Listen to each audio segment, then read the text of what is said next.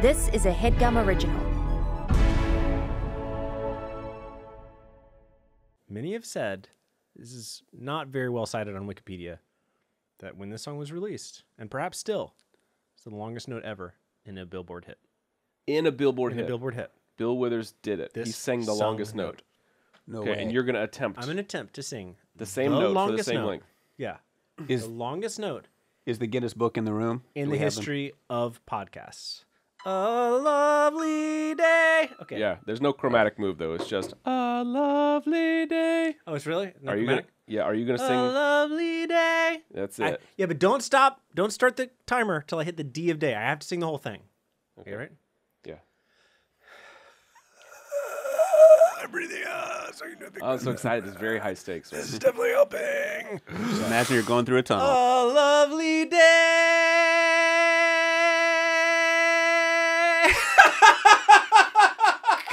Come on. Come on. it's too funny. Come on. It's not. You chickened out. You laughed to get. You laughed to get out of it. Oh, that's the timer going off. I was nowhere close. near. Not even. You went for five seconds. God. Wow. I, the thought that was going through my head the moment before I started laughing. Do you know what it was? Uh, don't laugh. No, it was. I've got this. Oh. This is I'm, like I'm basically there. thi- this is like when you're in, you're in class and you're laughing at something that's not funny at all, but you're just laughing kind of because you're not supposed to. You're That's like, exactly right. I'm. I'm sitting in history class. I'm going to get in so much trouble, but Yeah, I can't stop. You got the church giggles. I think I could do Yeah. it, but I cannot. I cannot keep trying to sing an 18 second note for the rest of this podcast. We got to move on. Move on to what? What could be what could be more important than this? We'll come back around to it. Who could be more compelling? Let's set let's let's set the table. Let's talk about what we're going to talk about. Let's talk about what even is this show? What even are we doing What here? is this show? What the heck is this show? What is this Is show? this- From the theme song, you may know this show is called Punch Up the Jam. It's a show where every week we take one of the greatest hits of all time. It could be a, a, a hit from the from the Billboard Hot 100. It could just be a beloved song, Mm. and we take that song and we make it even better. Uh, and we're very. I'm one of the hosts, Andrew Gregory. Uh, this is the, the other host, Evan Gregory, and we're very lucky this week to be joined by our third brother, Michael Gregory. Welcome to the show, Michael Gregory, also known as my brother, Andrew's brother, very accomplished YouTuber and musician, known online as Schmoyoho, accent on the yo. Welcome to the show, Michael. Thanks for rejoining us. It's an honor to be here again. Although the first time I've been in this room because the other time we were just in our studio. And I wasn't a- there. You, you you came in uh, while I was on paternity leave twice. Yeah. Right, Michael. Yeah, I was helping fill in the gaps while you were gone. Yeah, Yeah, we used to. People always ask us if there's another brother another sister in the family. Obviously, in our group, the Gregory brothers, there's a sister-in-law, Evan's wife, but um, maybe not. That's not obvious. And that's confusing. Anyway, uh, I remember like when people used to ask us that, I I would say like, "Yep, that's a hundred. We're a hundred percent of the gene pool. Like this is it." Yeah, there are there is not a fourth There's or not fifth a fourth person. sibling But I said that a couple years to, ago, and I was like, I don't think that's technically true anymore. Why? Because we've had kids. Gene pool, gene pool's down a generation now. You know, maybe our specific gene pool. This is still that gene pool, but I don't know. Our, ge- our, our genes are elsewhere now. They're we all have kids. I got a stew on that. You're for a thinking while. about this. You're like Yeah. the gene pool of our family. Maybe this is the whole gene pool.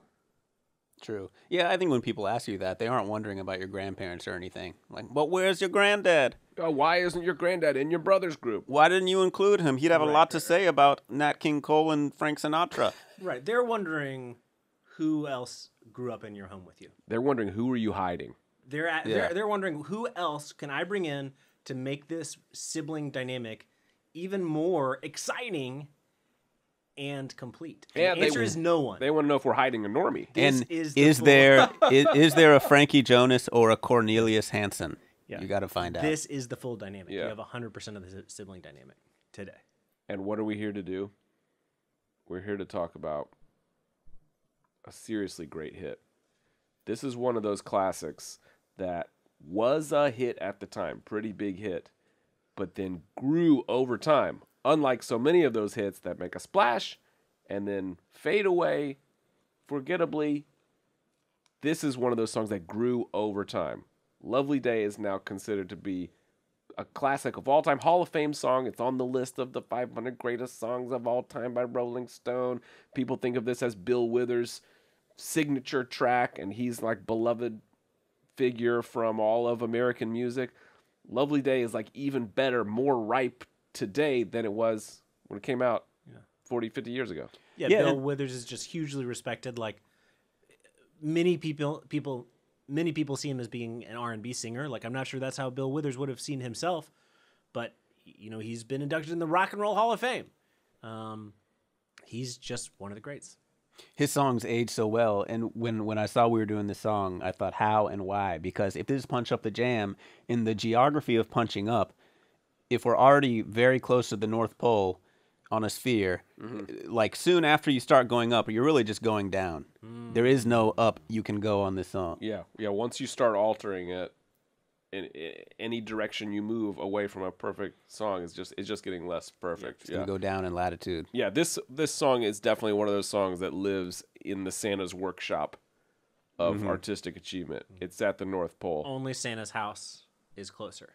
Only to the North Santa's house is more perfect. Someday on this podcast, we'll discover what is the Santa's house of songs. Where Uh, also- just to brag on what this song has achieved, I gotta say, whenever you become a theme song for anything, like you've really done something. Like if you wrote the theme song for West Virginia on purpose or by accident, I guess that's on purpose. You know that that the Country West roads. Virginia Mountain Mama. Country roads. He's if- def- yeah, he's yeah, country roads. for- If you write a theme song for all people named Caroline, you know that's that's gonna go a long way for a lot of people. A lot of people out there know a Caroline or are a Caroline. But I gotta say, to be able to write a theme song for all lovely days, For all, a type of a day. a type of day that Yeah, is very only so common. many types of days. You and walk out of your house, the weather's perfect, and you just think, dum dum, dum Yeah. dum, dum dum, dum dum, dum. Oh yeah, you just start strutting. yeah. Yeah, I wake up, I feel a brisk br- anytime I feel a brisk breeze. Really, I would say the entire month of September where we live in New York City. Every day of the month of September is going to be a lovely day. Yeah, that's true. What is it about this song that's uh, like a little autumnal? You know that he doesn't say he doesn't say fall, but to but to me, it does conjure that way. I Ah. felt I felt a brisk breeze. I feel a brisk breeze when I hear this. It's song. funny. A lot of Bill Withers. I mean, you know, "Lean on Me," but then a lot of his other songs are about unpleasant things, right? Which is kind of kind of funny that he he has "Lean on Me" and he has "Lovely Day." Okay, It's like, what like what do you have in mind? extremely pleasant songs, right? But he has uh, "Use Me" until you use me up. My favorite Bill Withers Bill Withers Yeah. song, yeah, about getting abused and used. Uh, Yeah, he has that other song. Ain't no uh, sunshine, of course. Who is he, and what is he to you? Like that's about like Yeah, you thought your jealousy. woman was cheating. And his first hit, "Ain't No Sunshine When She's yeah, Gone." The woman's gone. Even Grandma's hands is like happy, but there's like a very sad nostalgia that Grandma is no longer there. She might even explicitly be dead in the song. I can't remember. But one, the first song on his first album, Harlem, is talking about how hot it is and how much it sucks that it's hot. Mhm. So it's like we all know this is a little too hot in New York City in the summer. Even on a very nice summer day, you're kind of thinking like, would be nice if it was like five degrees cooler. Like, yeah, it's nice at 87. What if it was 82? Mhm. That could be a lovely day. Yeah. No. We're already like off on the right foot here. Andrew's been really worried recently if we're doing too much hating on the podcast. You know, I- I'm squarely in the camp of like we're doing the right amount of hating and loving. Some songs are diver- deserving of either. It's okay to bring a real junker on the podcast and nitpick it. Yeah, a real, jun- a real junker like Lovely Day. like like rude by magic, for example. I love Lovely Day. Please, that was a joke. Please, please, please don't come after me. I'm not a hater. Like every time we touch, Yeah. a song so bad we had to punch it up twice. Yeah, I hate that song. Uh, but it's okay to love other songs, and then we go into a very difficult territory of how do we punch up this song that's already very close song's to Santa's workshop, This is a perfect song. yeah, and has been recognized as such as society. Yeah. Everyone loves this song. One thing that was amazing to me to read about Bill Withers. Oh, let's get I mean, into it, baby. has- he has a really weird career because his career starts late, right? He escapes West Virginia. He grows up in West Virginia Mhm. by joining the Navy before he's seven, before he's eighteen. Joins the Navy. he uh, moves to LA. While he's in the Navy, he gets obsessed with writing songs and singing. And he's like, I want to know. I want to know that story. I, I understand. Like, we'll probably never understand that Yeah. piece of his biography, but, but that friggin' rocks. He's a teenager in the Navy, and is like, There- now's the time to start writing songs. there is a really really good rolling stone profile from him from like about 2015 i really recommend you read um, maybe we'll link it in the description even. Um, I'll, I'll, I'll maybe highlight a couple things that are from that that is is just really cool interview with him. Uh, so he's out of he's out of the navy. He decides he wants to become a songwriter. He moves to la and he just gets a job in factories. He's working in factories like at at uh, like building airplanes. He's working at the ford factory. And by his own like his claim basically is like this job was easy for me because his job in the navy had been an aircraft mechanic. You know like if you're an aircraft mechanic on the navy you got to be like what is wrong with this thing? Figure it out like beat on the part like take it off put on something else. Where like now you just got these brand new airplanes. You're just putting the part mm. on and putting it down the line put doing it again. Like i'm sure it was a hard job but he was like for an aircraft like other people were like having to train to do this job i was an aircraft mechanic Okay, so, so he's, he's, absolutely in his late twenties. factory he's job, in his late twenties. Early there, he's working a factory not even using his mental energy. He can sit around and think about songs. Yeah, he's thinking about songs. He's recording demos on his own dime, and he eventually gets um, a demo in front of the right guy, a guy who's powerful in the music industry, um, and says, "Okay, we're going to take your demos and we are going to record an album out of them." Signs them and hires just one of the greatest American musicians in the history of American music to produce it. That, good news for Bill Withers. Booker T of Booker T and the MGs Sick. is Great move. You know, Green Onions. You know, all that all that great Stax stuff. He's in LA now. Yeah, And the he guy is- that's behind all of the hits from Memphis Soul. Yeah. The other thing that blew me away in terms of like, I, I guess this is Booker T's idea. This is ve- very hip and cool to me. Is who plays acoustic guitar in all those songs on the first album? That's like the hits like "Use Me Up." I think are on that. I'll, I'll, I'd have to double check that, but the guitarist on the whole album is Stephen Stills from Crosby, Stills, Nash and Young. Okay. like Booker T. Jones can just pick up the phone and be like, "Hey, uh, you guys are broken up right now, right? You're one of the best guitarists in one of the biggest rock bands. Like, can you come play on this?" But the absolute sweetest story, like I, this brought tears to my eyes in the Rolling Stones article. Maybe Bill Withers is lying. Maybe he made this up, but he was like, "I got off work one day. You know, I had like my lunchbox. I had like my sheaf of songs." and I like went over to the recording studio to meet all these guys. I met Booker. Like I was really excited. He was like, and, and then I asked, so who's gonna be the singer?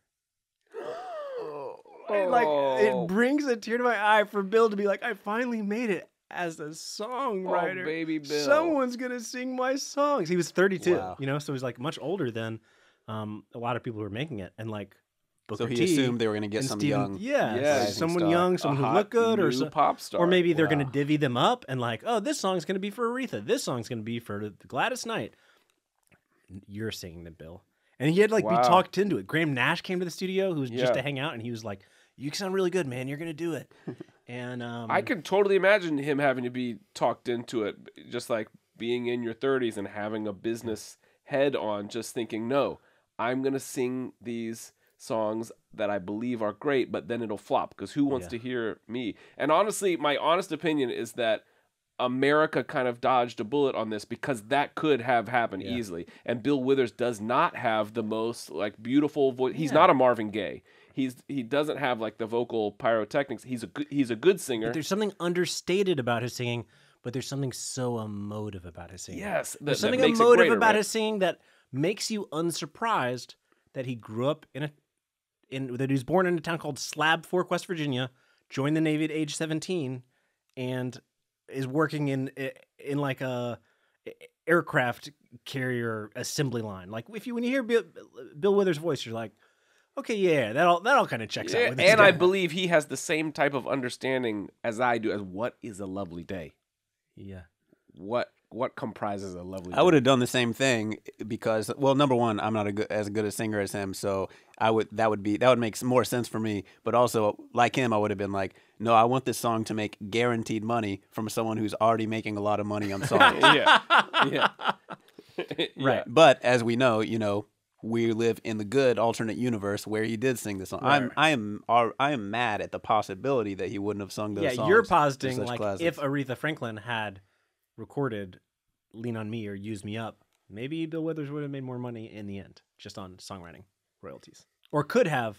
But the way it worked out, it shook out the way you like. Yeah, I don't think I don't think it would have, but at that point in history when it hasn't happened yet, of course you're going to think it it will have.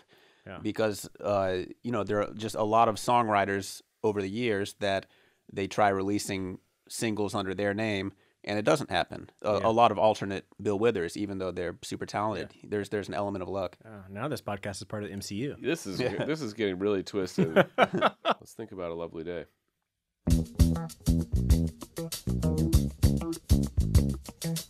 Mm.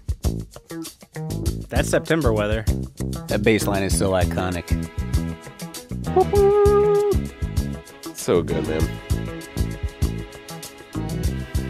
I'll just pause every eight bars or so, so we can just uh, just just reflect on the on the glory that that just happened. It's it's just so catchy. It's so pure. The bass line, but you also have this the rhythm guitar panned over here on the left. That's just keeping the rhythm going. The whole thing comes together in this in this perfect bed of a rhythm section before the strings even come in and the the strings are sort of like I don't have to have the strings in this song. This the song would work without the strings, but it's kind of like a signal about like this is a high production value song. Like this this we're leaving some money on the we're leaving some money in the on the screen here, so to speak. I wanted to make this a five dollar segment, Evan, but I could not think of a way to do it without giving you too many hints. Okay. I'd either have to give you too many hints and I'd lose five dollars, or it would be absolutely impossible for you. Uh-huh. But the person playing the rhythm guitar that you admire so much is Ray Parker Jr. What? Yes, The guy- Ghostbusters guy? the guy who sings Ghostbusters. I know Ray Parker Jr. is actually very accomplished ses- session musician who Yes. then was given his chance to shoot his shot on Ghostbusters. But did he write that song too? Was he was he the one that got sued yes, for sounding like Huey Yes. Lewis? yeah, he was. because as this very show has discussed at length, they basically wanted Huey Lewis to do the Ghostbusters song. He refused, so they're like, let's get this very talented studio musician to pretend to be Huey Lewis. To make a sound alike, Make it sound like- and he just did too good of a job making a sound alike. and Huey Lewis sued him. So here he is playing perfectly sitting in the pocket. crushing it, yeah. Ray Parker Jr. Oh wow, all star studded, all star studded cast. But. I mean, there's like if I just asked you who's the session guitar player, no way you get it. No, I only would have hint- said Steve Cropper. This Only track hint- is so far away from Only hint I could give know? you is like he busted ghosts, and then there's five dollars out of my pocket. you already said Stephen Stills is playing for us, so I would have guessed that. My second guess would have been Steve Cropper because you mentioned Booker yeah, but T. Steve Stills, that's six, that's five albums ago at this point. This is a six album. Stephen Stills is playing. Let's first album. not talk about the alternate universe of what we would have guessed. Okay, We've already we're doing we're doing let's we're let's doing talk about too many multi. day. There's too much multiverse in this episode. Mhm. Let's talk about the universe we're in, in which we're experiencing a lovely day. When I wake up in the morning, love,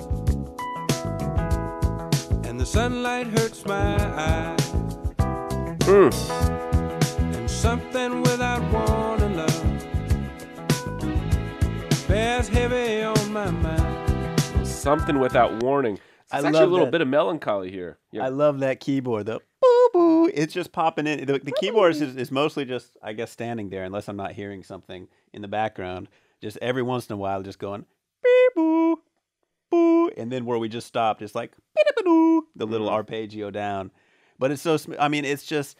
I just love this arrangement because it just shows how much you can do with so little for some of the instruments. it's extremely chill vibes in this studio when this was happening i like i mean of course they probably did overdubs but i like to imagine that this is all being recorded live and all of the studio cats are just like super appreciating what everybody else is doing you know Ba-doom, boom, boom, boom, boom.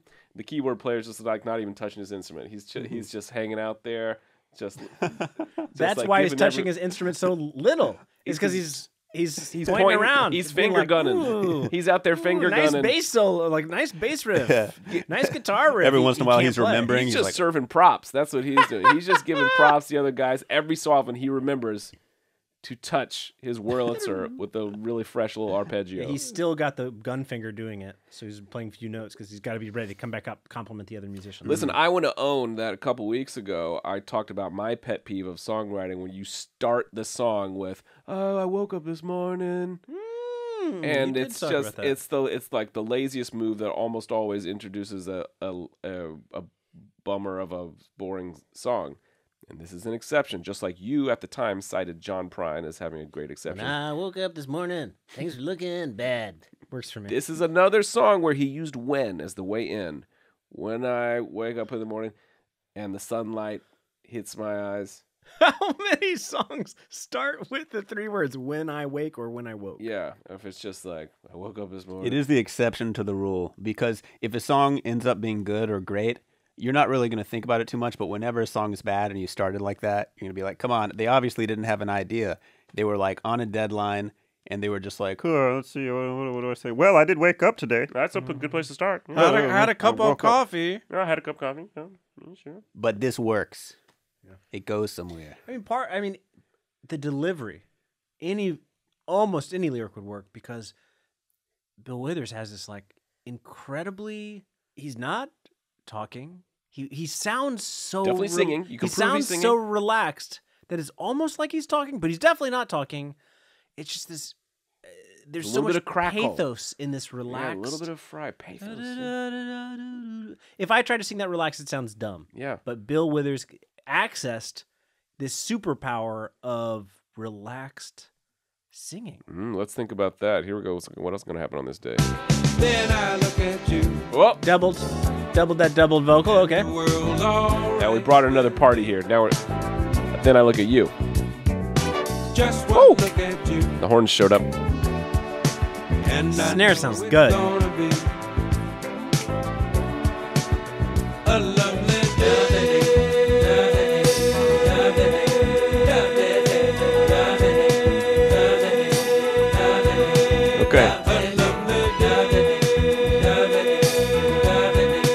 Stop it there. Stop it there for a second, Evan. Yeah. Yeah. Because there's one thing I've got to say about this song. Ooh.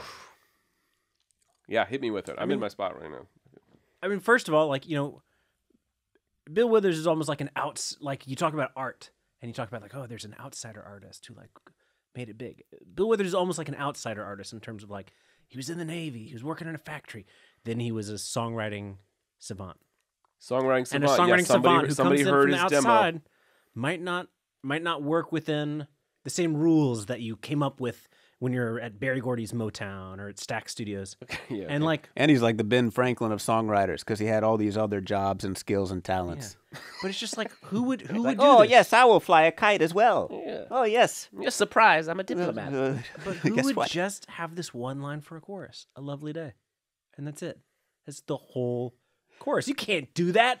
If he came into Berry Gordy's Motown office with this, Berry Gordy would like kicked him out. He'd be like, "Go finish the chorus. They're just trying to. You're being lazy." No, you need I a don't know. you need a central metaphor. Was is this- your lovely day like a It's heat like, wave you or just- isn't it? You can't keep singing the same melody. It's like it breaks. It's like just something you don't do in a chorus. But B- Bill Withers said, "Why not?" Was And this he under right. Columbia?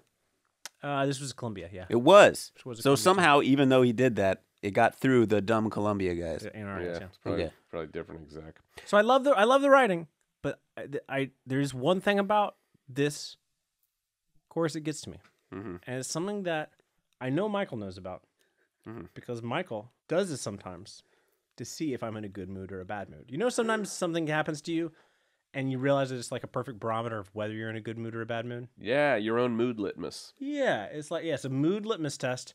We're like, uh, I don't know. I wake I wake up in the morning Yeah. and I go into my kitchen and it's a mess from the night before, and I'm like, oh, my kitchen's a mess from the night before. Well, if I take a step back, it's like, well, I'm in a bad mood today. If I go in and I'm like, well, I have 15 minutes to clean this. I mean, you never love to see the dirty kitchen, yeah. but yes, it is a mood test. That's a mood test. Yeah. Michael, unintentionally, I think. I think he did this. Maybe I don't know why he started doing this, honestly, but sometimes it makes me so mad when he does it. I, I, did, I didn't so realize that. And sometimes, but sometimes when I'm in the right mood, it is so funny to me. Will you do it, Michael? Do it. Do what? Do the thing. Do the thing you do. Okay, I think. All right, well, give me a key. We don't even know what Andrew's talking about. But, yeah. key of E. Play the key. Evan. Okay. We're in the chorus. Okay, yeah, I would just sing this chorus. Mike I would would sing the just chorus. We'd be standing on a crowded subway platform, and Michael would start going. what? I wouldn't do this on a crowded subway platform. I wouldn't do that to. I wouldn't shout at people on a on a uncrowded subway platform? or in a place where there aren't many people. Okay. trying to defend myself here.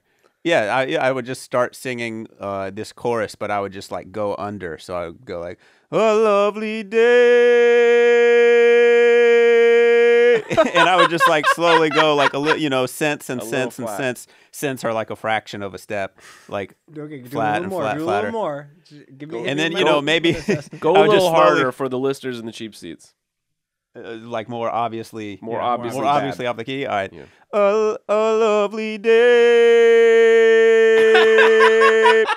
That'd be more obvious. So just for just for fun, because it's a long held out note, Mm. I would just make the note go go off. So you can tell like- I'm in a great mood today because I'm laughing about it. and I think this might have come from our dad used to.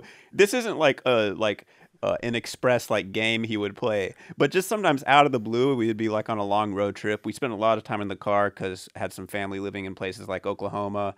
Uh, so you know we'd be in the car for hours, and um, some song would be on the radio or something, or or he'd we'd be playing some CD. Like let's say we were playing the Beatles, like Mother Nature's Son, and let's say the tune, the key is "Born a poor young country boy," and then he would come in on the next part and go "Mother Nature's Son," and Dad would just like sing horribly, like on purpose, and he wouldn't warn us about this, like on purpose. I I mean, he wouldn't warn us about it at all. Like, was hey guys, funny? was this a litmus test for you, or was it always funny?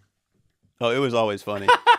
it always cracked me up. So Michael, I mean, like it's in the like the reason it's funny when I'm in a good mood is because it's really in the song. Like when you listen to some of these long notes, I just want to say like that one's that one sounds really good.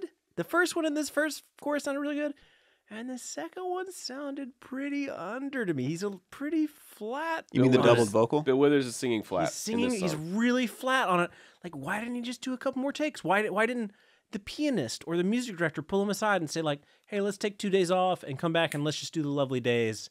Really, really get on the tone, Bill. Mhm. You want to hit it square in the center of the pitch. Square in the center pitch, maybe even a little above it, but not below. I have a hypothesis. What if uh, what if they did that and it was too phasey because it's too exactly the same, so it, it's not as good of a double quality. There's no, there is no theory you can give me that will make. I it. think the, Here's what- the warm quality of his voice still sells it. Like n- n- most people listen to this song and it, ju- it just sounds fine, but it is true that the bass is hitting the pitch right in the center.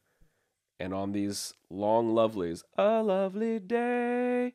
and it's He's, he's, he's not like even there. Getting, he's getting close to a quarter of a step flat. He's and it's like a slide too. It's not just he lands a quarter step flat.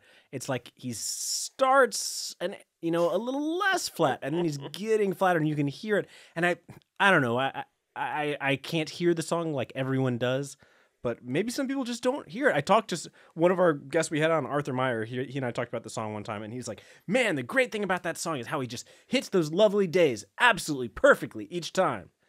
And I was just kind of like. I, I couldn't I I couldn't hold it in. I was just like, he doesn't. He he's flat. He goes flat on them. We're we're gonna But sound he- like but- the worst Grinches on this one. Of course, we also love the song, so we'll have to we'll have to prove this. I'm gonna post on Twitter, Instagram, or something, a like uh, like spe- spectrum analysis where you can see just a like little- this is like the bass, the bass is in tune and the vocal is south. This It's- it's this, sagging. this many. I gotta say, I gotta disagree because I love the wide band of pitch, like the the fatness it brings, and I think that just anybody, um, you know, who let's say would be like a millennial or even some of Gen X and younger, like their entire pop culture consciousness has existed. Let's say after the kids' bopification of music, mm. which I'm The not talking. Yeah, the auto-tunification. I'm not talking about the two- 2010s and onward. I mean the 90s and onward. Like Yeah. ever since the maybe the mid late 90s when all pop music started using autotune, but people didn't really know it yet. So everything's exactly in the center of the pitch. And from a certain perspective, that's kind of boring. Now, I'm not trying to be like a, I'm not trying to be an opposite Grinch and be like, kids, these days the music's not good anymore. No, there's still, there's great music now, but there is a certain, uh, uh, perfection in singing pitches that does get a little bit boring. And so I love listening to songs like a that where they have a there's a warmth to music with inner in, imperfections. And when I put on Michael Bublé's Christmas album, and he's an, a, a, a freaking amazing singer, you can watch a live performance with him and say like, why isn't he just doing this on his album? But it's all auto tuned to be exactly perfect. There's a cold. There's a coldness to us that Mm-hmm. they that even is- auto tune the scoops on those. But that is something those audiences like. And a lot So of it's not a- it's a not hurting people anybody. A lot of people we talk we've talked to people about this and they have they just say I have no idea what you're talking about. And a lot of that is because, again, like our whole pop culture existence, it exists after this started. So you don't really, you're not really. I mean, I guess if they're also rotating it with uh, Bing Crosby and Nat King Cole, maybe they would hear a difference, but maybe not. It's just the same to them. Yeah, it's a pretty grinchy thing for us to bring up, but it is also Will true. you play the two days? Just those the end of the first day and the beginning of the second day in the chorus. And on this roll first it- yeah. chorus? There's, Yeah. yeah. Okay, here's the end of the first one. This one's in. This one's in for me. This is close enough. This one's starting to sag in a way that makes my skin crawl a little bit. Honestly, my skin crawls. You can actually you can hear it a little bit because it's doubled. You can hear them clash a little bit. day that lies ahead of me seemed impossible to face. Hmm. I think what's what I'm enjoying about the story of this song is that his day is just not that great, but then he looks at you. He didn't just wake up to a crispy breeze and feel great. The Shyamalan twist. He woke up. He woke up and felt pretty bad about this day, and then he got one look at you. And the world's all right with me. The whole world is changing its perception of him. And I know it's gonna be.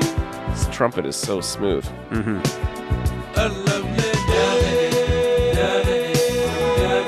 10 out of 10. This one's good. He got it pretty square there.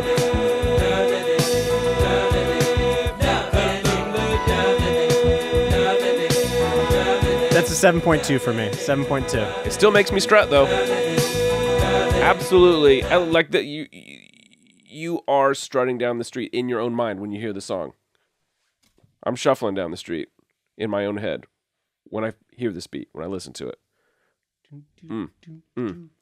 I got to bring up how amazing that pre-chorus is, because I think the pre the pre-chorus You mean the just one look at yeah you? it uh, to me it, it makes this song because the, the the the verse and the chorus harmonically are so simple and all of a sudden the pre-chorus going to this different place. It kind of makes it so breaking out into the simple part it's like more of an exclamation point where if the whole thing were just simple then it would just be like, okay, I've been listening to like an extremely basic song.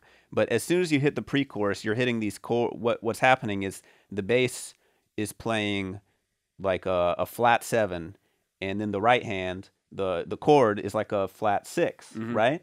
And Yeah. so you're playing these complex chords. And when I say flat six and flat seven, that means it's not even like on the scale of the original. Those are key. chords you should not even be playing. you should not even. Not they even should be out of those. bounds.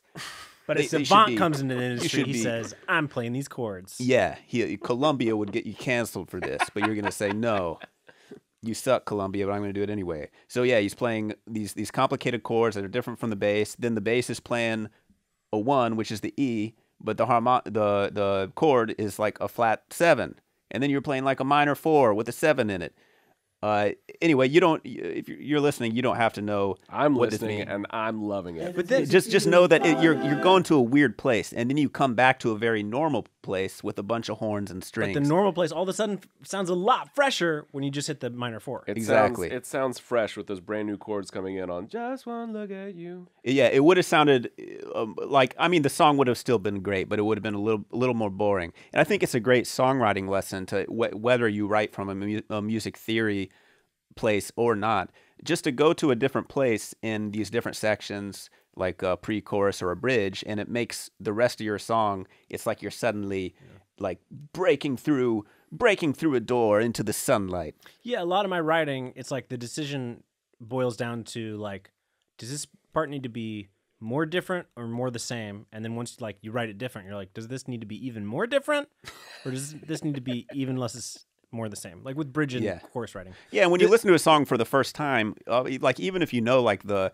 the nerdy theory stuff, it's not like you're sitting around going like, mm, flat seven. Oh, now I like this. No, it just feels good. Yeah, and so a lot it's just of the, like kind of like in hindsight. training, like I don't have a lot, but it's like, oh, if I'm playing in the key of C and I know I need something different, I'm just like, well, what are three chords I don't usually play in this key? And I'll mess around with those till I find something. But You, What if I started hitting the piano with my elbow? man, Michael, it's, it's it's good to have you. You're really showing off your aural skills.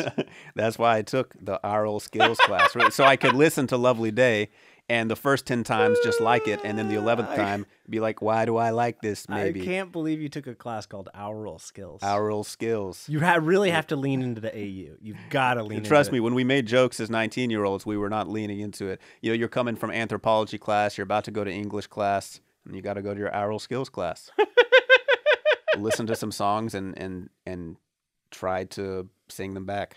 Did they call it aural skills at Swarthmore Evan? Was it aural skills? No, no. They would. I think they they saw the pitfalls of calling a class oral skills. Oral skills. Oral skills. Got to go hone my oral skills. Yeah. I, for me, it was called ear training.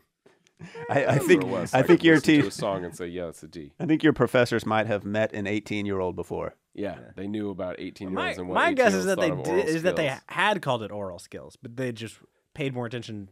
Maybe they like had the door open one day right before class and heard all the jokes as the students were pouring in. Like time to really hone my oral skills of oral sex. Time for me to go to dick sucking class. and this and this Swarthmore professor was just like ear training. I've Wow. got it. Apologies to people who tuned in to hear a really family friendly song and just Yeah. arrived right at the dick sucking Hey, class. we don't know why uh, Bill Withers' day was so lovely. Yeah, just one look at you. Maybe Swarthmore had a mole installed in the students to, to be among them, hear all the jokes. Which classes elicit the most jokes? Oral skills. It will henceforth be known as ear training. training. Yeah, because that's what we're doing. When the day that lies ahead of me. Okay, the keyboardist is doing more now. Yeah, so a little escalation, more keyboards in here. And when someone else instead People got mad. They're like, "You're just pointing, man." And Bill's You- vamping a little bit. Uh, You're getting, you're getting paid the same as us? then I look at you.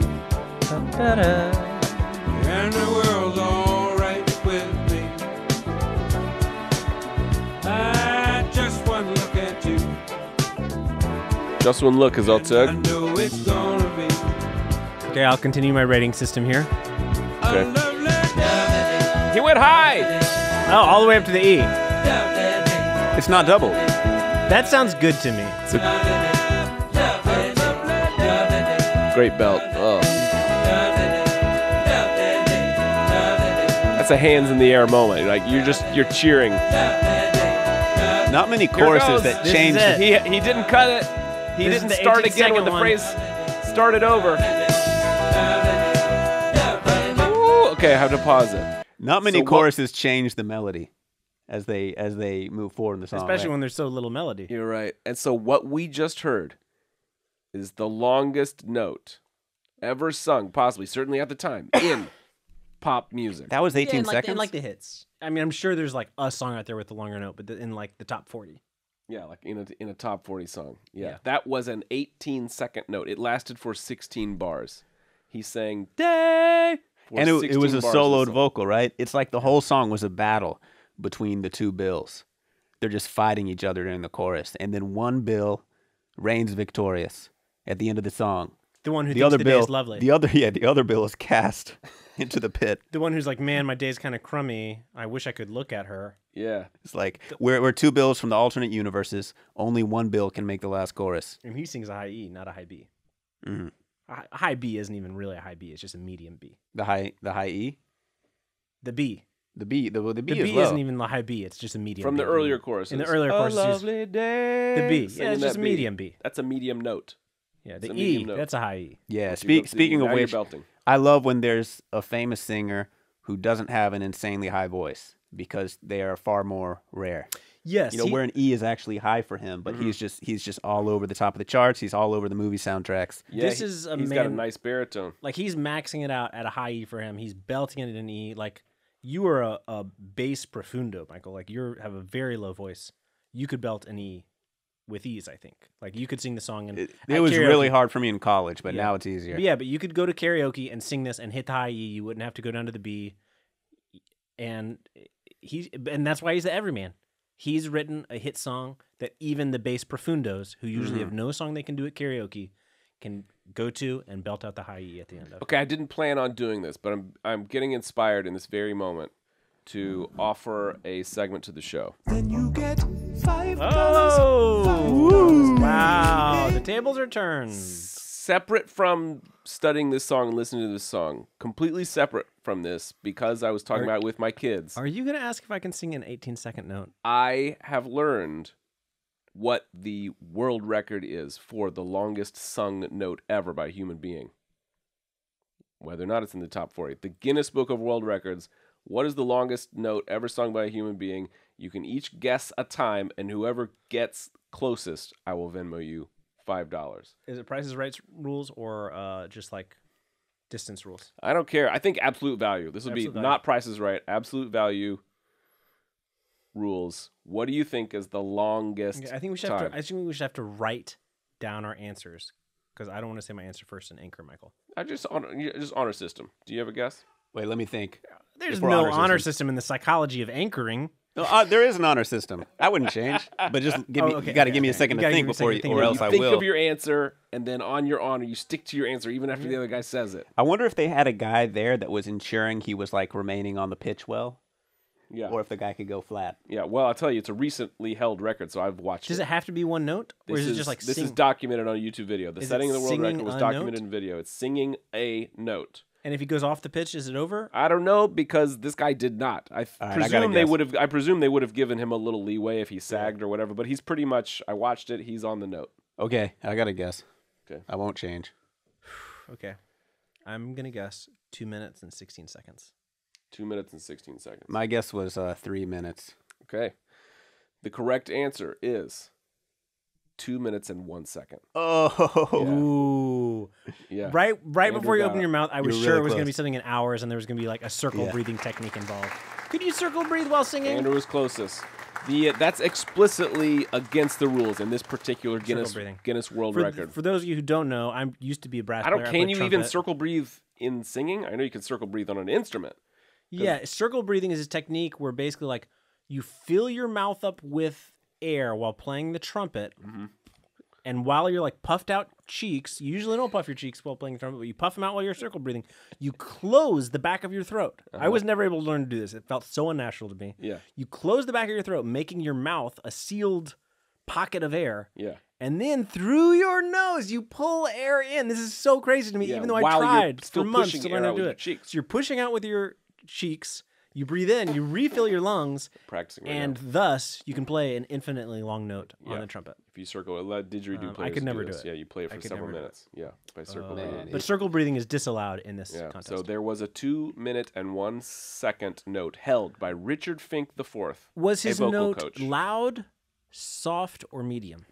It was of medium, moderate volume, and I was- I was shocked to see that he sang it in a high falsetto.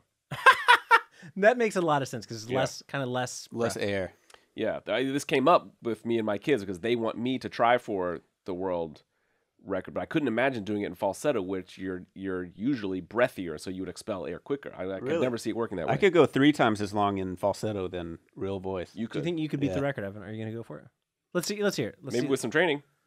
Okay, Let's hear your longest note. all right, Oh, okay. well, So now we're set- stunting. yeah. Now we're just stunting on the show. Something. For something, I'm going to set this stopwatch. Two Okay, you minutes, set one the second. timer. Two minutes, Uh, one second. you guys, First you, try. you may. This is going to be longer than 18 seconds, so you may want to think of. I'm bragging in Yeah. advance, so you may want to think of something else to talk about. You're gonna Wow. you're gonna start laughing. while I'm You're doing gonna this. start All laughing. Hey, reset. Uh, we resetting can my keep the timer. discussion going. Well, you're gonna have to cut out just this part of the podcast and play it for your kids, not play the other parts. Okay, if I go for two minutes, Okay. then you got to send this into Guinness. Okay. Two minutes. Yeah. That's on camera. We'll just play like, you know, let's just play like I got one look at you Okay.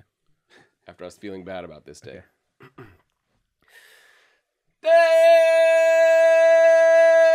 Lovely day, lovely day, lovely day, lovely day, lovely day, Lovely day. Lovely day. It's hard to talk about anything else while this is happening Is this because good? it's just filling my entire brain. Is this good TV? Is this what they call good TV?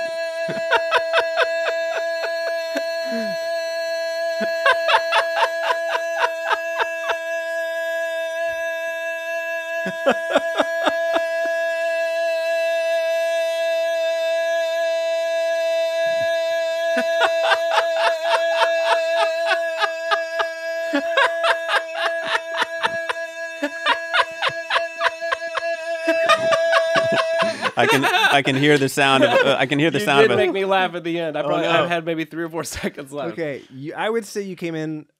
Where, where? How long do you think you sang that note? Evan? 18 seconds. I think that was an 18 second. That You're was right. An It's- 18 you're right. note. You're right. It was 18 That was an You got it. 18 second. I could hear the sound of uh, That felt 500 like, people. To me, in internal to me, it felt like I tied Bill Withers.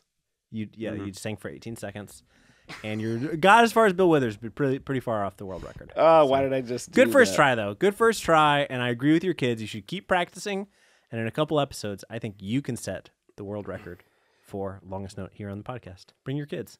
Great. We we could have as a guest on the I- episode the Guinness. I was shocked that you just started screaming the E. I was sure you were gonna go like Like do the Richard Jenkins the fourth. yeah, uh, Richard Fink the fourth. Fink the fourth. He had a. I mean, obviously he'd been practicing this for a long time. This is extremely high stakes, but his his was more like it even had a slow vibration to it that I think was intentional. He sounded sort of like this.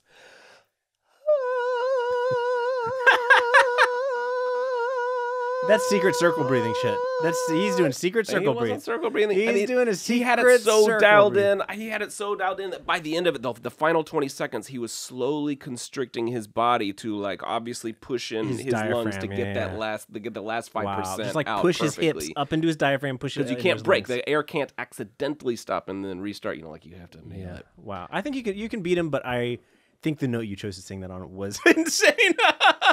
That's the only way I can do it. That's the only way I can I- do it. That's, no, the, that's the no, only way that you can let the air out slowly you gotta enough. you gotta pick it different. You're right. Okay, I, got, I gotta change my I gotta change my technique to do it the Richard Fink way.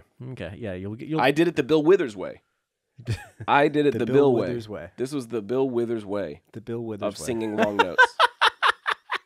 How long was it? Uh, it was about 49, 50 seconds. 50 seconds.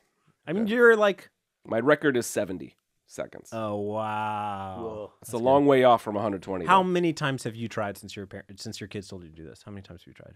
Once. So this is this your second try. Yeah. The first try, you got 70 seconds. Your Well, the second you first got try, they noticed it because uh, their grandmother was visiting. My mother-in-law was visiting, and it like came up conversationally, and so everyone in the family, we had a contest. By everyone in the family just started singing immediately. Ah, and see who could hold Mm. it the longest. So pure. Uh, because Nana thought that she could win because she has a really loud speaking voice, which is true. But so all the kids are out You by eight else- seconds. But you know what else is not true? What? Well, you know what is not true? Not because the other thing is true. It's, it's not true. She can beat you. I have a lot of confidence in your ability to sing for longer than Nana.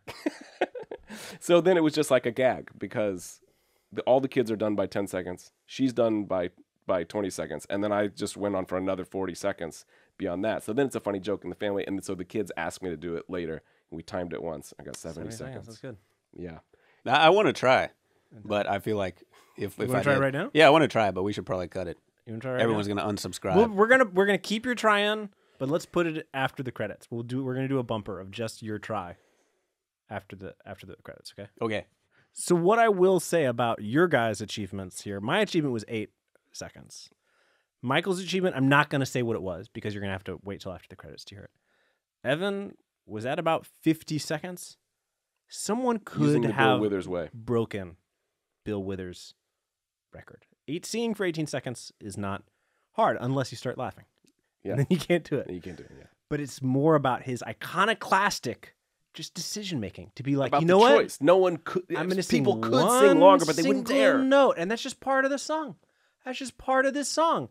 And other other people's managers, he didn't have a manager, or their AR reps, or their co-writers, or their band would be like, "No, that's crazy." 18 seconds. Yeah, probably other people even were trying it in the studio because all these singers, they love singing. You know, Steve Perry is out there singing a 30 second note Mm-hmm. in some take, and then the the the the label guy went in there and just whispered in the engineer's ear, and they just cut it right Yeah. off. But the the wonder here is not that he sang for 18 seconds. The wonder is that he wrote a song where he was like, "This needs an 18 second long high E. That he dared to do it it. needs it, That he this Neil Armstrong. even if it's a little flat. Even if it's a little flat. Yeah. Honestly, the 18 second was pretty was pretty Yeah. good. Sounded good. Yeah, it's one long note for a man. It's a giant note for mankind. Hmm. Once he's belting it out on this high E, once he's lifted it up there, that's where we live for the rest of the song. And he's just declaring, just belting out to the world, it's a lovely day. Here we go.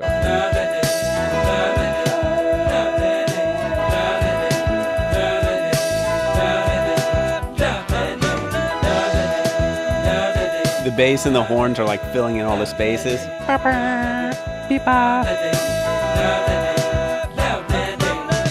gotta say, the drums age so well too, like the kick pattern. I mean, you, you can see why this this is one of the songs that doesn't get lost to the sands of time. And just great sounds, like the sound of this. Of, oh, really flat on that one. Really on the last one, it's really flat. Like why finish with a flat one? But the kick Because and the they're already snare Are you sure it's out. not so the good. Doppler effect of the, the song fading out? Yeah, I mean, the, it's the, the, the, the volume effect. No, it is the Doppler effect because to accomplish the fade out, they put the band on the back of a flatbed Yeah. and just drove it away. Flatbed truck drove it away, That's and why that it's- made the whole band go flat when it. That's passed me. why the the sound is getting quieter, but also it's getting lower because of the Doppler effect as the truck races away. To do, that's how they did every fade out before the, Doppler digital effect. era. putting the band on a flatbed truck. Yeah, before we moved Mm-hmm. into the digital era, we didn't have that technology. You'd have to Mm. drive the band away, or the engineer takes the microphone and runs. And you have to roll them down a hill because otherwise the, the engine will make too much noise. Yeah, the hill I think technique. I think I think he was just flat, guys. I think he was just flat on the long, last one. I think again. he's just running out of breath He's after not- belting these incredibly not, long he's notes. not running out of breath. I mean, he's proven that he is a man with a lot of breath and breadth. It's just like if you're singing 20 high notes in a row, some of them just aren't going to be quite right maybe all the time. Just go back to the studio one more day, fix the I mean, what honestly it was less of them than I remember. I think my memory has been corrupted by Michael's bit where Michael goes, "A lovely day." there aren't not there Michael's bit has made me think they're all flat. There's only maybe like 3 to 4 of them in here where I'm like, "Ooh, that one just really gets under my skin." yeah, listening back to it today, so it's redeemed it a little bit. But what if those three to four didn't get under my skin? Mm-hmm. And What even the high when he goes up higher, I honestly think those are better, the high E ones, because he's like really pumped himself up. He's like, gotta sing that high E. It's some of the earlier ones that are on B's that are like just really sag for me. Really I'm surprised Dad didn't corrupt your memory of every single song by doing that car game in the car game. of singing every song off key. I'm going to defend this this song to my dying day. That note is ex- exactly where it's supposed to be, On every time. and it sounds every good. Yeah. time. Yeah, And you're you're one of the most famous people in the world at making notes be on the right pitch. on or off. tuning. Yeah, and you're saying all of them are right. yeah, they they are right because they are what makes the song sound so good. Wow, that's a real. I feel like that's a real Bill Withers attitude to just sort of be like, you know, It's right. I'm kind of I'm with Michael on this one. Although I, I, Hmm. I, I'm agreeing with you that sometimes Bill Withers sings the note flat, but I'm with Michael that like the warmth of the song makes the whole thing work. Mm. It's in the right palette. Bill Withers is mm. creating a lovely day for me. Mm. I have another mood litmus test for you, Andrew. Hmm?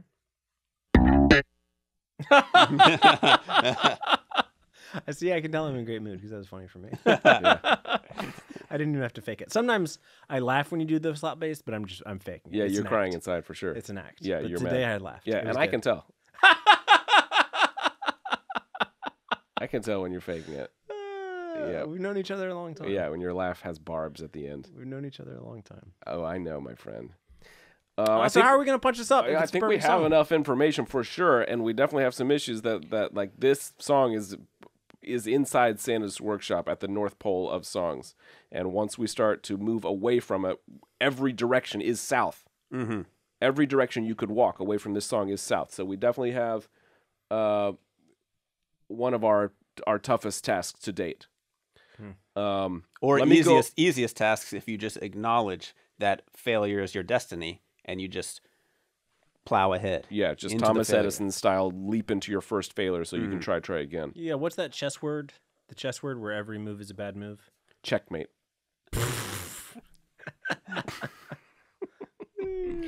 um, yeah, when you're checkmated, every move is bad.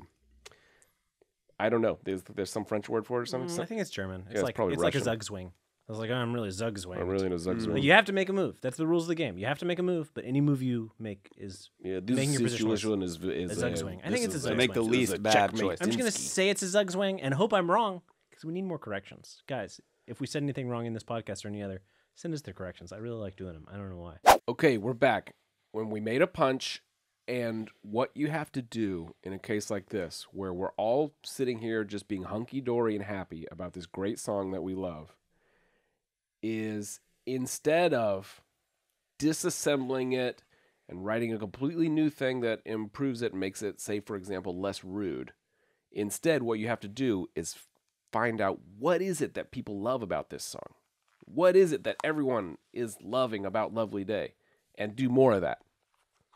And do more of that. That is Make a it way even more lovely. even more lovely, even more great. And so I present to you the punched up version of Lovely Day. Oh, I'm excited. So fresh. Still in a vibe. What hath you wrought? What have Still you in the done? pocket.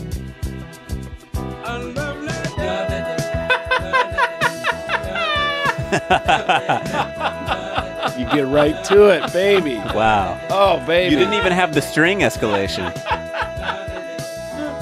It's so you get right to it, man. It's so good. You didn't even have the other chorus like Here the comes. beat. He's gonna take a breath. He didn't take a breath. I didn't hear the loop. That was a clean loop. Wow.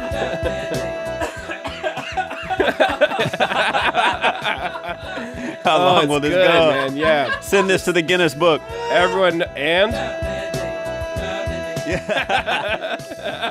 that one note that everyone loves. When you hear this song and it gets to the belty part, everyone says, "Wow!" I'm confident this is the first ever. Oh, the backing Bill track Withers- changed, right?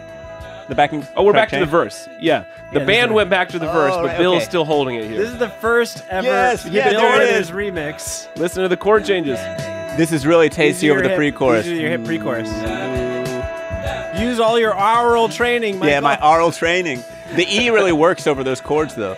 And we're back to the second ever- chorus, and there's only one note happening. This is the first ever Bill Withers remix that'll be released, and people won't want to go back and listen to the original, and they'll say, "This, this is the This remix is the I one." needed."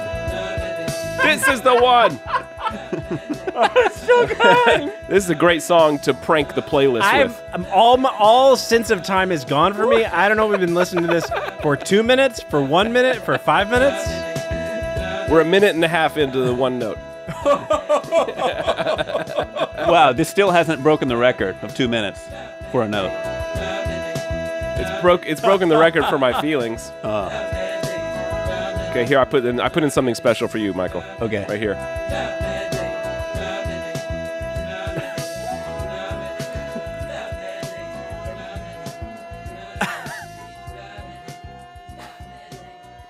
It's the reverse Doppler effect. wow, I feel like we just ascended into the heavens. Wow. Oh, it felt good to listen to it. That's an incredible job. Oh, is that the like- length of the original song? What we just listened to? No, it's actually a little bit shorter, but I did ensure. Mm. I did ensure that the length of that song, the punch up that we just listened to, resulted in Bill Withers now singing the longest note ever sung by a human. In that was two. life. That was two minutes and five seconds. I do think Wow. we should have made it longer. I think we should have made it full length.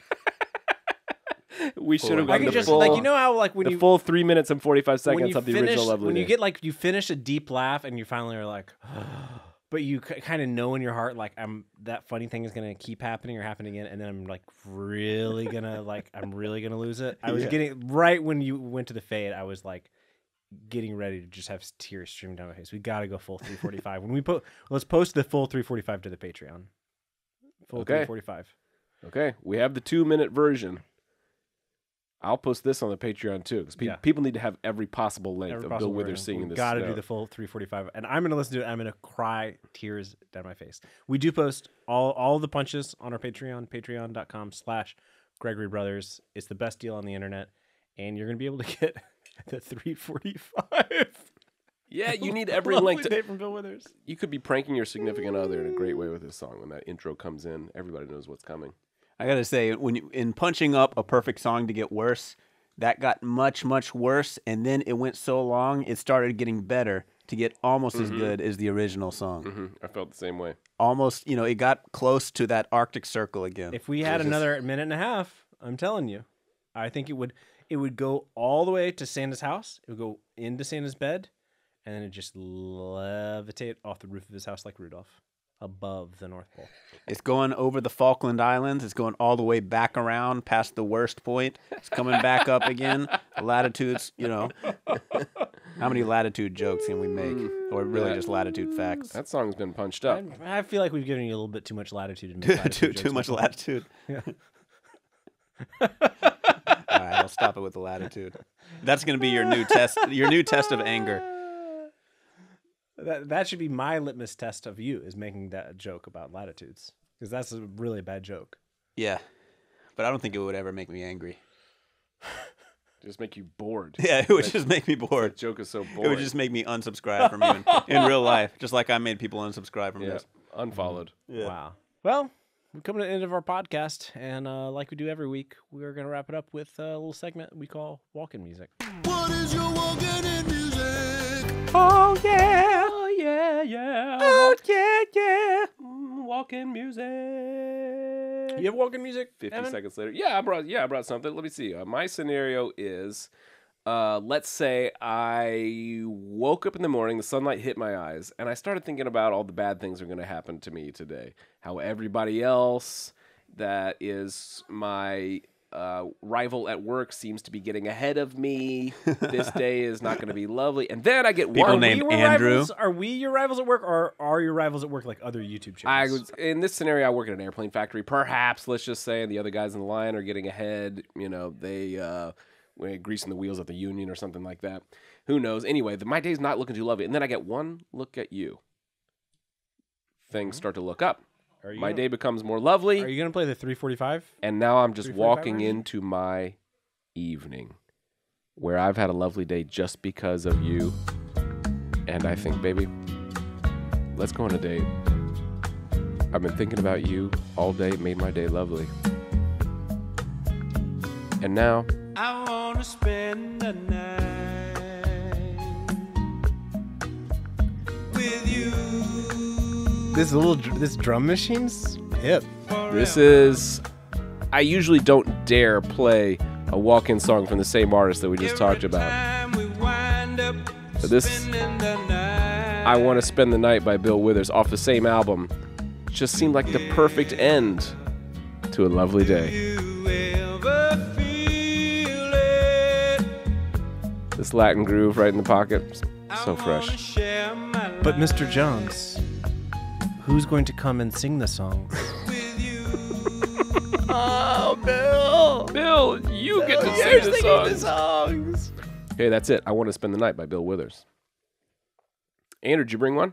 Okay, this scenario is I've just come up these stairs at the northwest corner of Union Square here in New York City. So I'm on Broadway and like 17th, right by the Barnes and Noble. Yeah, perhaps you're on your way to Headgum. Yeah, and there is a really annoying woman dressed as Wonder Woman who's uh, appears to be some sort of carnival barker for some sort of company that's trying to take some of my money. And she's like, "Hey, do you have do you have some time? Do you ha- do you get a Con Ed bill? Do you do you receive a Con Ed bill in New York City? Hey!" And as I as I turn to sprint away, this song starts to play. Hey, you get a Con Ed bill, don't you? Everybody gets a Con Ed bill. I can see the slow motion pigeons flying away as you run through Union Square to get away. Then My people are playing chess. My books, like my laptop, is like flying out of my backpack, but I just I just got to get away. Yeah, you get freeze framed. Ironically, I actually don't get a Con Ed bill. It's weird, but I don't. I don't get a Con Ed bill. but no one believes me when people ask me if I get a Con Ed bill, and I say no. They think I'm They think you're lying. they think I'm lying, but they're like, You get one. You get a Con Ed bill. I just need a minute of your time. No, my building gets the Con Ed bill. This classic song really is making your scene very cinematic. Yeah. I like the way you've laid this out. But who's caught in the trap here in your in your scene? Who Maybe is this is our. who's in the trap? You? I'm in the trap. I'm in the trap because you know when you're in Union Square and you're running away from one person that needs a minute of your time, what are you running straight towards, my friend? Someone else who's like got a Greenpeace vest on, and they say, "Excuse me, sir, can I have a minute of your time?" I love Union Square. I love it. I love getting off the Best train in Union New Square. York Park. Best New York City subway hub. But when you're there, you're caught in a trap between all the people asking for a minute of your time. That's when you got to take your briefcase, bundle it like in your jacket, and be like, "My baby's napping. My baby." Uh, that's a great out. Good idea, Michael. You Yeah, it would look weird to be carrying a baby in your jacket. I guess more like you're a kidnapper than an actual dad. But okay, uh, let's envision a scenario in which I've been hired as a motivational speaker at a high school. Okay. So I'm, I'm, I'm just going to run out onto the stage and say stuff like, keep your mindset in the grind set. Because if you assume you make an ass out of you and me, Uh-huh. Okay. and if you guys just graduate, if you go buy a house, that's an asset. And then if you NFT the house, then you're going to have an extra asset. You can sell that NFT for seven figures before you even sell the house. Hmm. Use that to have a second mortgage, an Airbnb. Keep your mindset in the grind set. Are they, is this what they're You're teaching in high schools? This. is what they're teaching in our high schools I, today. yeah, I don't know. I I mostly don't- remember don't do drugs. That's that's what I'm gonna say. I mean, maybe maybe I won't get hired again after this. This is just my mindset. Your first, this is your first. set. This is It's your first. You just take the paycheck, man. Yeah, yeah. Go for it. Well, you Yeah. take the paycheck, then you make an NFT of the paycheck. Yeah. That's two paychecks. Michael's mindset absolutely is the grind set. So right before I come out, I just pick a song that goes zero to sixty, so people can get instantly hyped, and they hear this. What's up, guys, and welcome to another motivational speaking event featuring yours truly, uh, Morco Morco Benvolio, me. I'm gonna talk to you about how to hustle harder than everyone else. I don't think Morco would really pick this song. Maybe this is a hybrid of, of, of Morco and me. I like it, man. It's it's adrenaline. It's adrenaline, but it's also sunshiny and upbeat. You know, you you can't be playing the sad stuff, and you definitely can't be playing stuff as controversial as metal to come out and go too hard for the high schoolers. Yeah, and if I jog out, I gotta pick a song with like no build up. And this will give you some time to kind of like punch the air, do some flexing, like an improv team. Mm-hmm. Yeah, I would be like one of those guys. I like jog out and I like jump in place. I do the dance, which is really just jumping. When people are like, "Hey, you want to go dance?" But you know they're just gonna jump. Yeah. Come on, man. Like Yeah. I know the type of music that's playing at this event. What's up, guys? Whether you like it or not, you're all entrepreneurs. and you're all building a brand every day. And I want personal your brand. brand to be a graduate. Okay, that song was called Wake Up by Ozma. I love that song. It's a great pick. Great pick, Michael. Great pick. I'm excited to get it into. There is a Spotify playlist. There's a couple dueling ones from fans, from us. Uh, there's some Spotify playlists out there of all of the walk-in songs from us, from our guests. At least the ones that are possible to listen to on Spotify. We've Yeah. had some, they're so obscure, they're only on we've had a couple people that are like emailed us an MP3 and are like, "I downloaded this from LimeWire in 2002. Please play it." And it's like, it was off a mixtape. It never made it to Spotify. That's amazing. Yeah. Yeah, well, that was very motivational to me, Michael. Yeah, I, I'm feeling like I'm in a rise and grind for the rest of my day. I mean, it's almost evening here, but I'm like, maybe I should just go home and do some work. You know, open up Adobe Premiere, edit some videos. I'm going to rise and grind, and I'm going to make one episode of this podcast every freaking week. I just realized how bad lyrically that song is as a as a walk-in song, and I, it just it just reminds me how lyrics blind I am to songs because Your I know, I know a lot of people are like this, where your brain is just stays blind to the lyrics for like the first few dozen times you listen to a song, even if it's like, is- you're like, this is my favorite song now. Oh, I wonder what it's about. You know what I mean? I, I think that sounds that sounds ridiculous to a lot of people to to have that notion to even not even consider what it's about before you've picked it as your favorite. but, I've you- done that but for a lot you of weren't learning about lyrics in aural training. Yeah, You were learning about the chords and and the notes. trainings. Yeah, I, it- that reminds me of when. So I was obsessed with like at one point, and and still, there's like one of the greatest intros ever. Uh, the Jackson Five song "I Want You Back." I just it was one of my favorite songs, and it's I probably heard it like a hundred times, and then I was like, "Oh, what's she saying in this song?" yeah, and song then I was like, "Wait a minute, this this protagonist who's singing this song is a jerk. Like, what's this? what's what's this guy's problem?"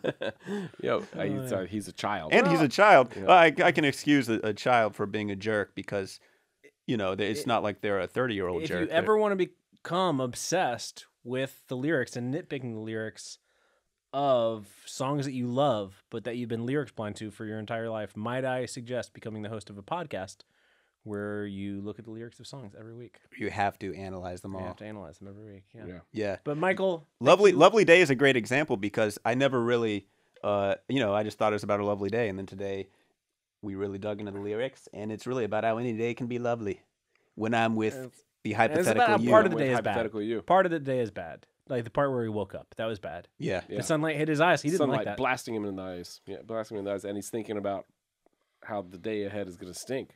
Yeah. So But- changed.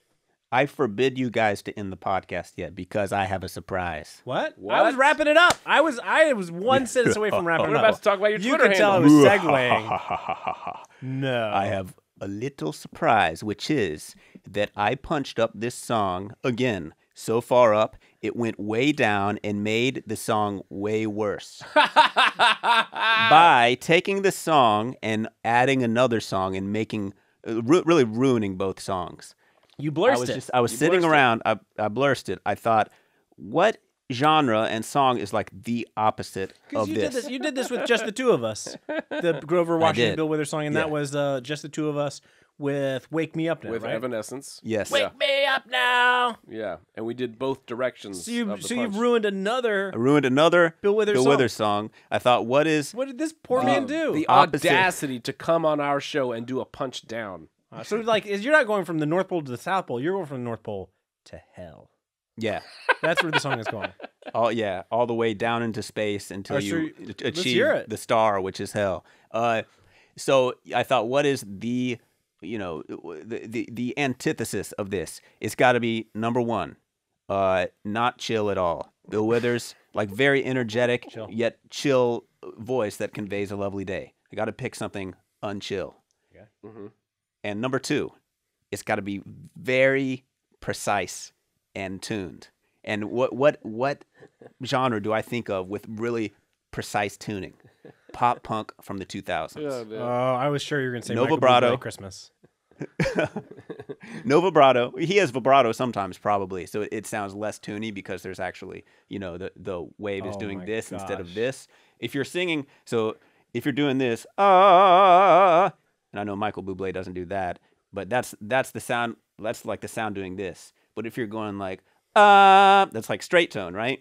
So I was like, straight tone. what is the most straight tone tuned vocal I Something, can find? something like Good right. Charlotte or like Green Day. I'm terrified. I'm gonna make you so mad. Let's hear it. I can't wait. Let's hear it. Does Evan have it? I snuck it onto there. okay. It, yeah, it's called A Lovely Day MG. Okay. Punch Okay. down. Okay, here we go. This Punch down. Yeah, Punch it's- down the down. jam. It's not every day somebody can come on our show Usually and in surprise comedy, us. you're only supposed to punch up. You're only supposed to This is the to attack exception. those above you in social standing. But now we're punching down. Here we go. Yeah, it does sound like punching down. Mm, I like There this it song. is. Yeah. I'm not gonna mess with the iconic bass line. I'm gonna leave it. I'm gonna leave the iconic string. Oh, my skin is crawling already. I'm so nervous. This feels nervous. good. As This feels should. fine. I'm so We're nervous. fine. We're swimming in the water.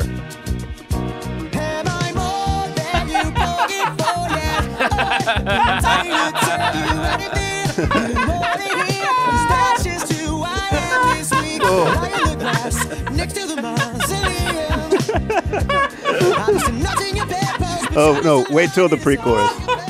Listen close.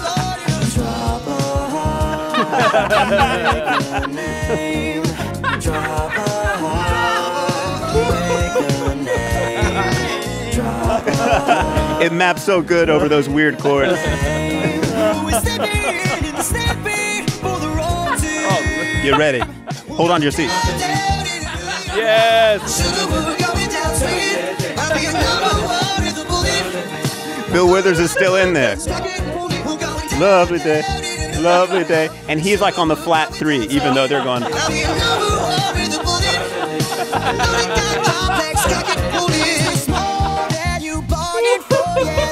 This is supremely stupid. I just love how precise the. Ah! I can't sing that note. Isn't it messed up how I'm just dying to be here? I'm just not in your bedpost, but you're just. It just keeps going. This, this, the song keeps going. It doesn't stop. This is my favorite part, I think. Even although, if anyone is listening to the podcast that knows how I can get the actual isolated stems, I can make this way better. Because all the vocals were mashed together. I couldn't separate them. All the lead and background vocals Yeah. were smashed together. Yeah. Oh, when the hook hits. It's so horrible. Bill Withers' rhythm section making everything work. I'm making Fall Out Boy sound great. Hey, they already sound great. I'm sorry to both of these bands for ruining both of these songs. Just two supreme songs. You know, they're songs of an era, of two eras. Oh. And they're- they're both made so awful by this. Oh, I stand for this one. you made it much worse, but it, but it was a blessing and a curse. It was a blurse. oh man, I'll, I'll give you guys the file. It I, was delicious. I would love to s- like.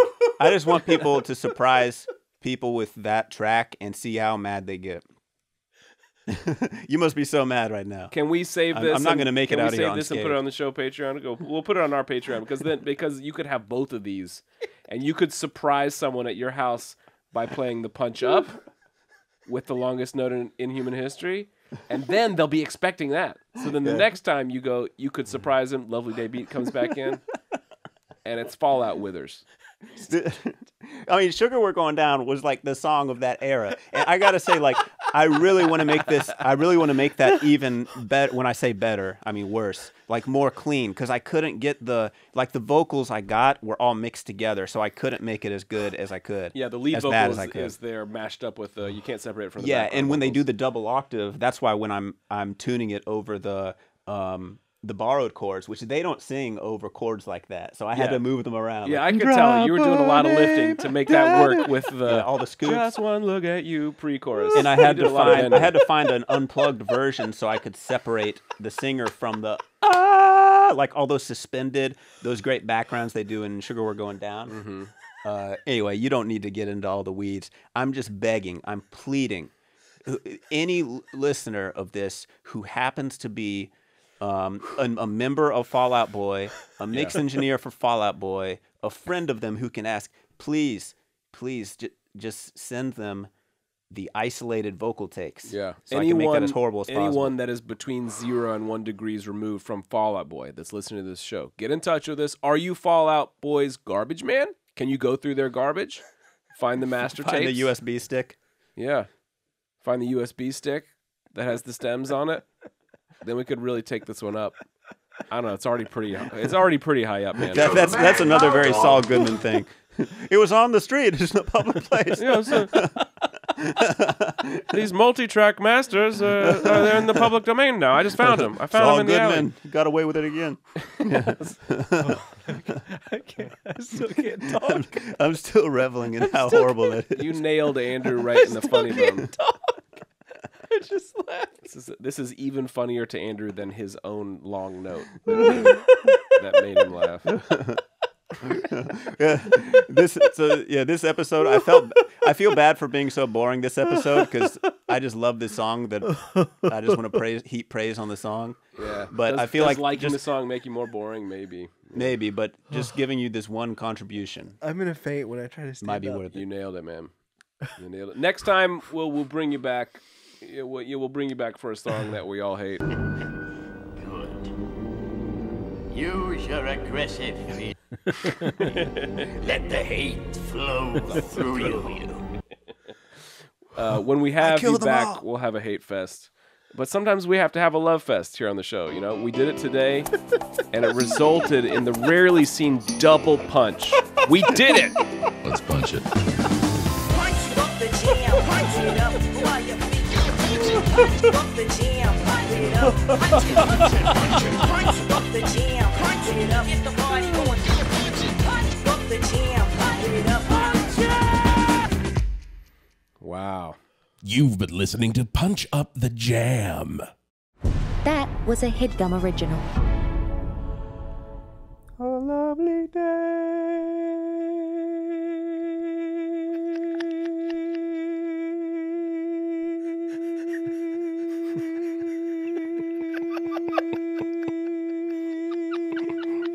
Beautiful.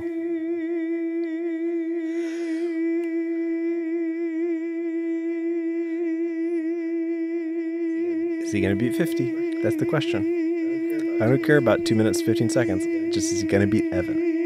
You're rooting for him to beat me. He's cycling like Richard Fink IV. He's got the Fink method dialed in.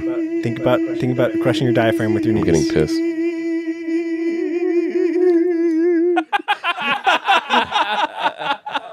Oh, about 41 seconds. oh, you were close to taking that one. in. what, what was Evan like? 50, close to 50.